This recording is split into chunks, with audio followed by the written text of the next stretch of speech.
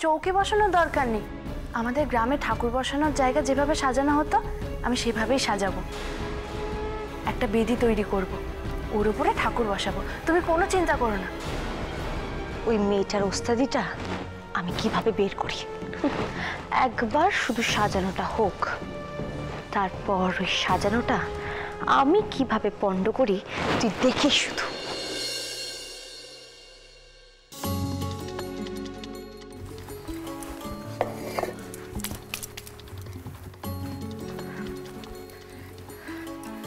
আরে ছোট বৌদি তখন থেকে কি করছ বলো তো এতগুলো ইট দিয়ে? দেখোই না। আরে বাবা চৌকিটা তো ছিল বসিয়ে দিলে আরে দুটো ইট! পুজো তো বছরে একবারই আসে। এইটুকু কষ্ট না করলে হয়? তোমার দেখো তোমার ভালো লাগবে।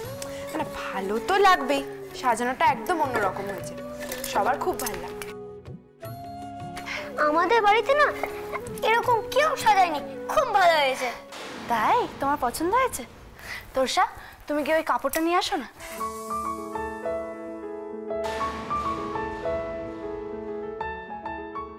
এনো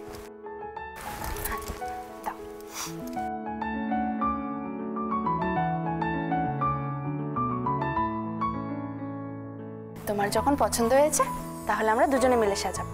ওখানে রঙিন কাগজ রাখা আছে। আমরা চলো গিয়ে শিকল বানাই।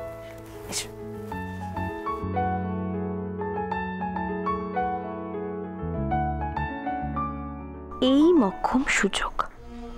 এখনই ঝোপ বুঝে কোপটা মারতে হবে। তোরসা শোনো না বলছি আমাকে একটা হেল্প করবে গো। হ্যাঁ বলো। দেখো না সে কখন থেকে মাথাটা না প্রচণ্ড যন্ত্রণা করছে। বাড়িতে কোনো ওষুধও নেই। তুমি একটুখানি ওই সামনের দোকানটা থেকে কোনো ওষুধ এনে দিতে পারো? আচ্ছা আমি যাচ্ছি। আসলে তোমার বর্দা তো এখনও বাড়ি ফেরেনি? আর ওদিকে রিভু আর ইন্দ্র ঠাকুর আনতে গেছে। তাই বাধ্য হয়ে তোমাকেই বললাম গো। আচ্ছা ঠিক আছে তুমি তো কিন্তু কিন্তু করো না। আমি যাচ্ছি। তুমি বরং ঘরে গিয়ে রেস্ট নাও আমি ওষুধ এনে তোমাকে দিয়ে আসব। থ্যাংক ইউ এতে থ্যাংক ইউ এর কি আছে? আমি এক্ষুনি যাচ্ছি। ছোট বৌদি আমি ওষুধটা নিয়ে আসছি। হ্যাঁ যাও। এটা হয়েছে? বাহ খুব সুন্দর হয়েছে। না না এভাবে আরেকটা বানাও। উফ বাবা মাথাটা কি যন্ত্রণা করছে? আর দাঁড়াতে পারছি না। বর্দি ভাই তোমার খুব মাথা যন্ত্রণা করছে না? হ্যাঁ গো আর বলো না এত অসহ্য যন্ত্রণা কেন যে করছে আমি বুঝতে পারছি না। উফ মাথাটা যদি কেউ একটু টিপে দিত। আমি তোমার মাথাটা টিপে দেবো? তুমি দেবে? আচ্ছা ঠিক আছে দাও আর কি এত যন্ত্রণা না করলে না আমি সত্যি তোমাকে বলতাম না। ওমা বর্দি ভাই তাতে কি হয়েছে? আমি তোমার মাথাটা টিপে দিচ্ছি দেখবে তোমার ভালো লাগবে। কিন্তু জয়ী তোমার এখানে এত কাজ আছে এই এত কাজ ফেলে তুমি আরে কিচ্ছু হবে না আমি এসে বাকিটা সামলে নেব। ঠিক আছে। তাহলে একটু তাড়াতাড়ি চলো আমার সাথে। হ্যাঁ চলো। টমটম তুমি থাকো আমি আসছি। চলো। উফ বাবা চলো।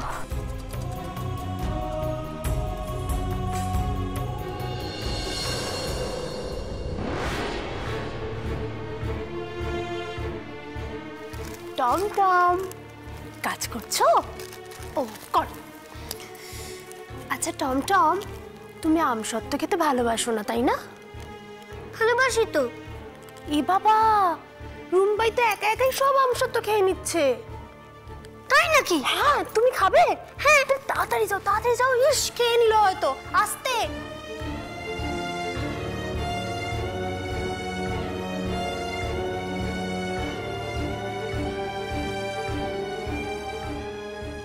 পুজোর সব কাজ একা করে খুব নাম কিনতে চেয়েছিলে না জয় এবার দেখো তোমার কি হাল করি।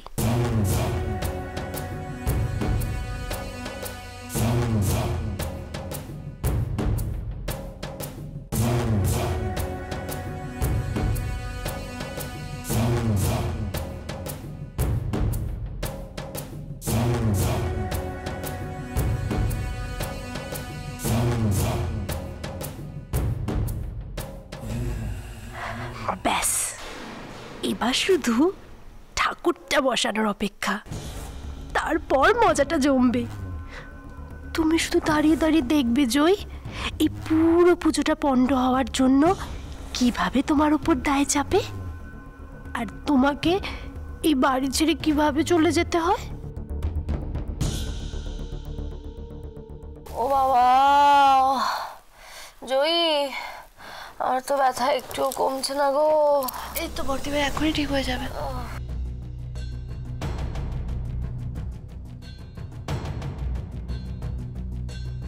ওমা বর্দি ভাই কি হয়েছে গো? সেজো আর বলিস না কি যন্ত্রণা মাথায় রে।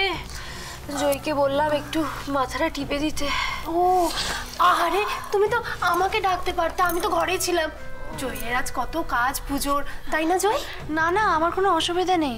আসলে বর্দি ভাইয়ের মাথাটা এত যন্ত্রণা করছিল তাই ভাবলাম একটু মাথাটা টিপে দিই। তাহলে একটু কষ্টটা কমবে। না না কিন্তু তা বললে কি হয়? জয় এক কাজ করো ওঠো ওঠো ওঠো। তুমি যাও পুজোর ওইদিকে আর কি কি বাকি দেখো। আমি বর্দি ভাইয়ের কাছে আছি যাও। আমার সত্যি কোনো অসুবিধা হবে না। আমার প্রায় সব সাজানো হয়ে গেছে। শোনো না বলছি যে আমি এখন একটু ঠিক আছি মানে ওই ঠিক হয়ে যাবে। আস্তে আস্তে এতক্ষণ ধরে তো টিপলে। আর বলছি যে তুমি যাও তোমার বাকি যে কাজগুলো বাকি সেগুলো তুমি সেরে নাও। নয়তো কিন্তু আমার বাবা খুব রাগারাগি করবেন। যাও। আচ্ছা। সেজবে তাহলে তুমি একদম একদম আমি আছি তুমি যাও। যাও তাতেই যাও। খুব কষ্ট হচ্ছে না বর্দি ভাই? যন্ত্রণা করছে না? কি হলো প্ল্যানটা বল? বর্দি ভাই প্ল্যান মতো সব হয়ে গেছে! এবার শুধু নাটকটা দেখার পালা। চলো না তাড়াতাড়ি চলো তাড়াতাড়ি এসো বর্দি ভাই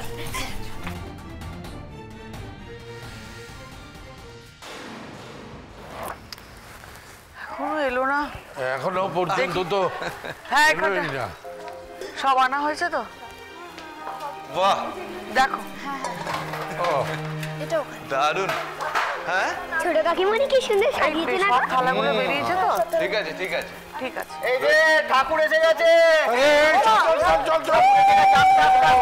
দেখে দেখে দেখে দেখে দেখে এই চুড়িটা এখানে খুলে রেখে আস্তে আস্তে আস্তে এদিকে এদিকে এদিকে এই সাবধানে সাবধানে আমরা এখান থেকে ঘুরতে হবে এখান থেকে ঘুরতে হবে হ্যাঁ হ্যাঁ আস্তে একটু আস্তে ঘুরতে হবে একটু একটু round এ। একটু নামাও একটু নামাতে হবে আস্তে করে রাখ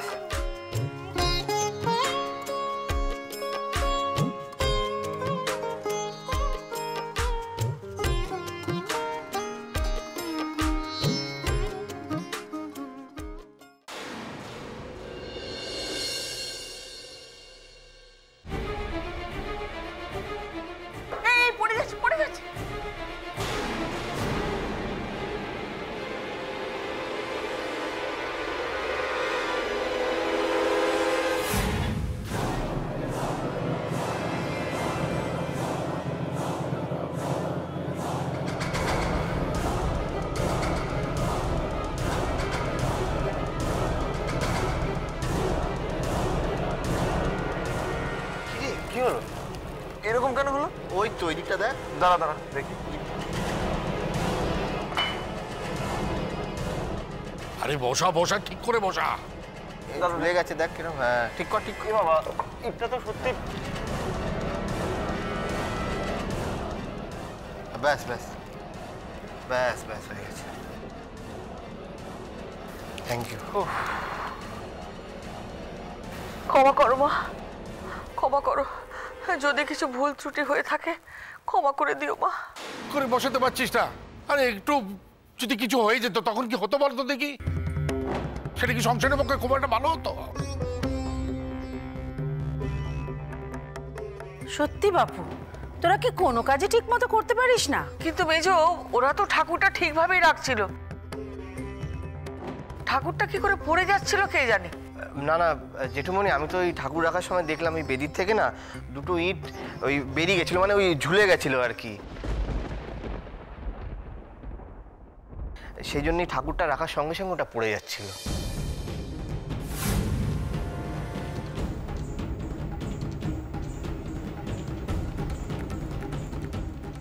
সে কি ইটটা ঝুলে গিয়েছিল মানে? এত দায়িত্ব নিয়ে জয়ী কি বেদি বানালো? আমি তো বেদিটা শক্তভক্ত করেই বানিয়েছিলাম। কি জানি আমি যখন বানাচ্ছিলাম তখন তো কোনো ইট ঝুলেছিল না।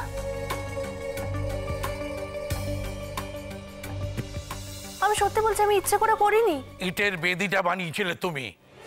এখন অন্য কেউ এসে ওই ইটটাকে কি ঝুলিয়ে রেখে দেবে? হ্যাঁ বাবা, আমার মনে হয় অন্য কেউ কোনোভাবে নিজে দোষ করে কেন অন্যের ঘরে দোষ চাপাচ্ছ?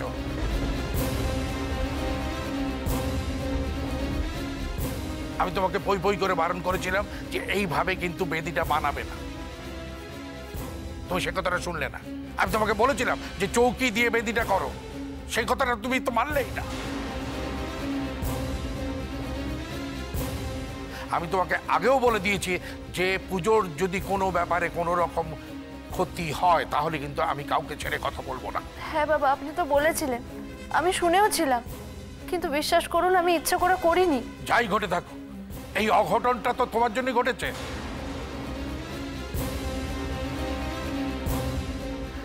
আহা ওকে ওইভাবে বকছো কেন গো? আমি তো বলেছিলাম ওকে যে ও নিজের মতন করে কাজটা করুক। সেটা করার কি ফল হলো? সেটা দেখলে তো? কেন ওকে দায়িত্বটা দিতে গিয়েছিল বলো তো দেখি। যখনই ও দেখবে যে যে দায়িত্ব নিচ্ছে কোনো না কোনো একটা সমস্যা হবে। আমি ওকে যা করতে বলব তার ঠিক উল্টোটা করবে বাবা আমার কথাটা একবার শোনো। কি শুনব? নতুন করে কি শোনার আছে? একবার যদি ঠাকুরটা পড়ে যেত, আমাদের এত বছরের বাড়ির পুজোটাই একবারে নষ্ট হয়ে যেত।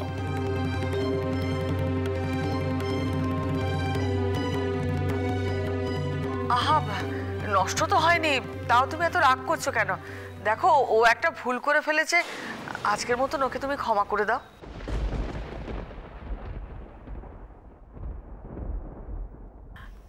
না, দিদি, এইটুকু ভুলই বা কেন হবে বলো? দাদা এতবার বারণ করা সত্ত্বেও। শোনো, ও যখন কাজে ভুল করেছে, তখন ওকে তো শাস্তি পেতেই হবে।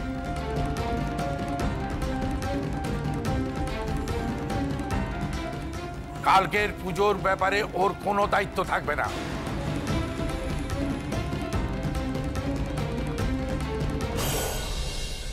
অঞ্জলি দেওয়া ছাড়া ও পুজোর জন্য ধারে কাছে না আসে।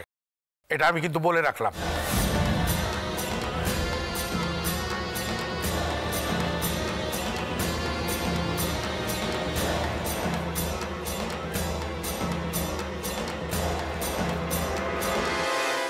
কিন্তু বাবা বাড়িতে পুজো আর আমি শোনো তুমি বাবার মুখের উপর একটাও কথা বলবে না।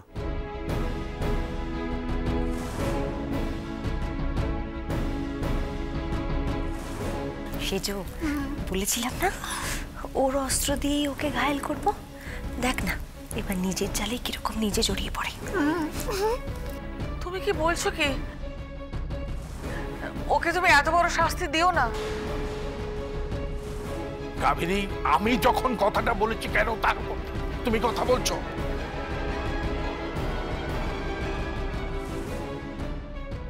না দাদা সে তো আপনি ঠিকই বলেছেন। আপনার কথা তো মানতেই হবে।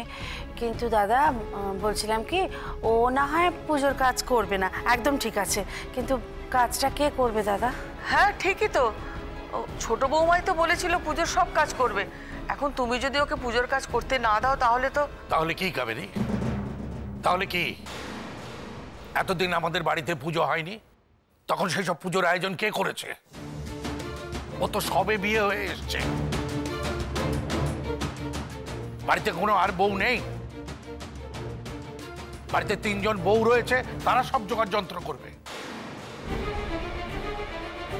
এ তো বলার কি আছে?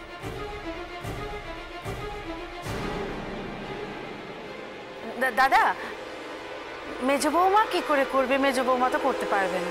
কেন কি হয়েছে? না কিছু হয়নি। প্রতিবার তো মেজ বৌমাই একা হাতে সব করে মানে ওই ভোগের আয়োজন টায়োজন তো সব জোগাড় টোগাড় তো মেজ বৌমাকেই করতে হয়।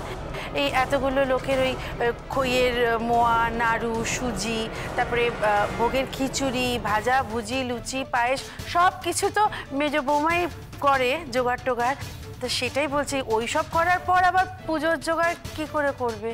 তাই না? তাহলে ঠিক আছে। বড় বৌমা, সেজ বৌমা সমস্ত পুজোর জোগাড় যন্ত্র করবে।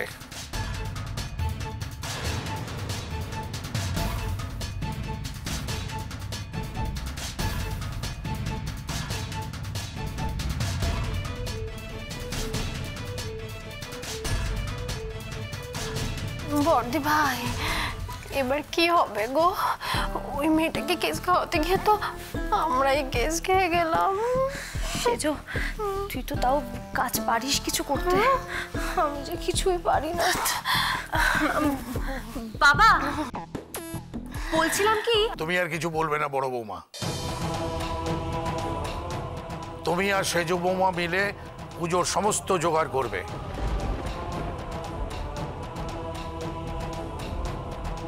দেখো, আবার ভেবো না কিন্তু যে পুজোর জোগাড় করতে সারাটা দিন কাটিয়ে দেবে। আজকে রাতের বেলায় কিন্তু পুজোর তিথিটা পড়ছে। কালকে সাত সকালে ঠাকুর মশাই চলে আসবে।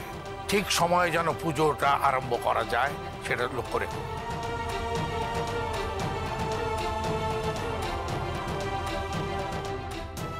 ও বড় বৌমা, সেজে বৌমা, শুনলে তো দাদার কথা। কাল তাহলে সকাল সকাল ঘুম থেকে উঠে সময় মতো সব কাজ টাজ সেরে নিও, কেমন? তোমরা তো সবাই জানো, পুজোর কোনো অনিয়ম আমি মেনে নেব না। পুজো শুরু হতে যেন এক মিনিটও দেরি না হয়। তাহলে কিন্তু পুজোটাই হবে না।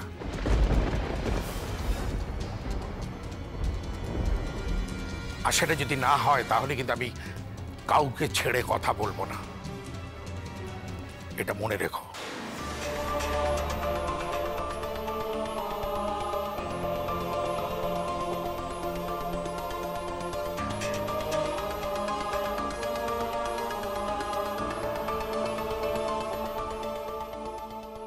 হ্যাঁ গো মেয়ে, বলছি শুনেছো তো দাদা কি বলে গেলেন?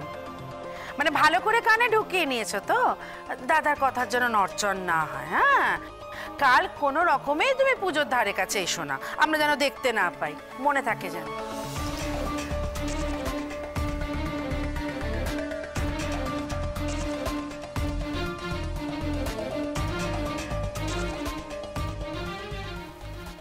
কাঁদিস আজকে উনি খুব রেগে আছেন তো, তাই একটু বকাবকি করলেন। দেখবি? কালকে সব ঠিক হয়ে যাবে। কাঁদিস না।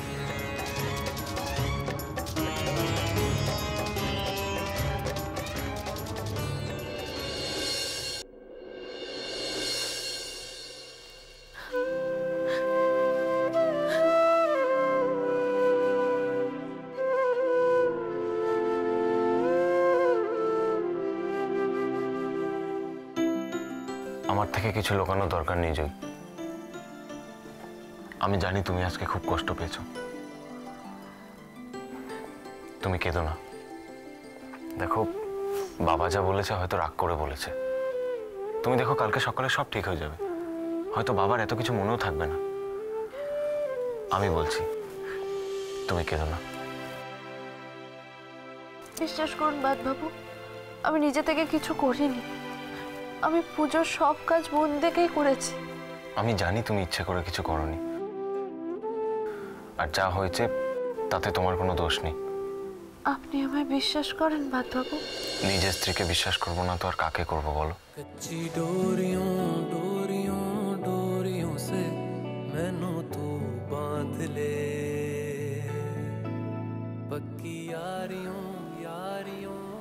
কিন্তু বাবা তো আমাকে বিশ্বাস করে না। উনি যতই আমায় বকাবকি করুক না কেন আমি ভেবেছিলাম বাবা মনে মনে আমাকে ভালোবাসে। কিন্তু আমি যেটা ভেবেছি সেটা ভুল। বাবা আমাকে ভালোবাসেন না। তা না হলে আমাকে অমনিভাবে পুজোর কাজে হাত লাগাতে বারণ করবেন? আচ্ছা বাদ বাবু আপনি বলতে পারেন, বাবা কেন আমাকে এতটা অপছন্দ করে? আমি কি কোনোদিনও বাবার বিশ্বাস, ভরসা ফিরে পাবো না? কেন ফিরে পাবে না জয়? নিশ্চয়ই পাবে। আমার বিশ্বাস তুমি একদিন নিজের খুনে বাবার মন জয় করে নেবে। আমি জানি আমি আপনার স্ত্রী হওয়ার যোগ্য নই। বাবা হয়তো আমার থেকে অনেক ভালো ছেলের বউ খুঁজে পেতেন। কে বলেছে তুমি আমার যোগ্য নও? আমি জানি আপনি কত পড়াশুনো জানা কত ভালো মানুষ। আমি তো তার এক কোনাও নই। আমি তো পড়াশুনো জানিই না কিন্তু এটা আমার কি দোষ বলুন? আমি কি করব? এই বাড়ি ছেড়ে চলে যাব? বলুন না, কি করব আমি?